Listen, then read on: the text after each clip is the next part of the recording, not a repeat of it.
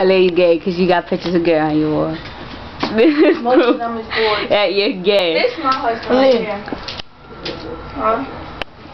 That's because you're ugly. No, chill out. This one. You like this? I'm in a house with a bunch of gay people. Everybody's witnessing this. Oh, you come?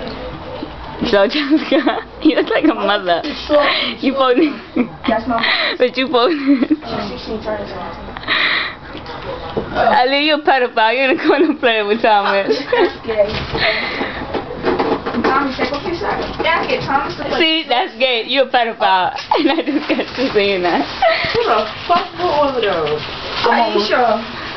Don't touch. You have to.